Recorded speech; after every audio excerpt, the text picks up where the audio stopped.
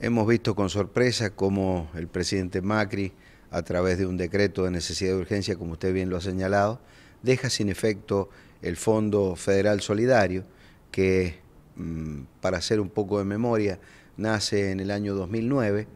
eh, como una parte de la retención de las exportaciones de la soja y se distribuye el 30% a las provincias y de ese 30% la provincia se queda con un 70% y el 30% lo distribuyen los municipios.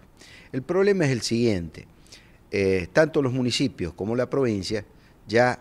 han planificado los gastos de ese ingreso que iba a venir del Fondo Sojero para las obras de infraestructura del año corriente, es decir, del año 2018 y también del año 2019, que es donde finalizan los mandatos. Entonces esto produce un descalabro económico y produce también la paralización de obras de infraestructura, no solamente provinciales, sino municipales, que impactan esencialmente en los vecinos. Y la problemática está en que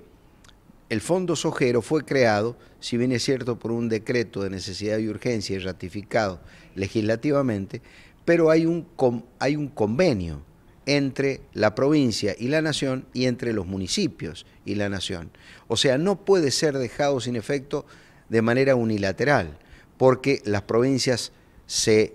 comprometieron a utilizar esos fondos en eh, gastos de infraestructura y no en gastos corrientes, se comprometieron a rendir cuentas, es decir, hubo un convenio, debió acordarse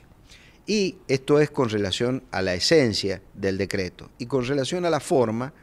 el decreto de necesidad de urgencia, lo dice la Constitución, se tiene facultad el presidente de hacerlo, pero se está rogando facultades legislativas. Y el decreto de necesidad de urgencia debe ser eh, dictado cuando eh, no puede o no funciona el Congreso o, hay una urgencia o hay una necesidad. En este caso no advertimos ni la urgencia ni la necesidad, habida cuenta que el Parlamento está funcionando.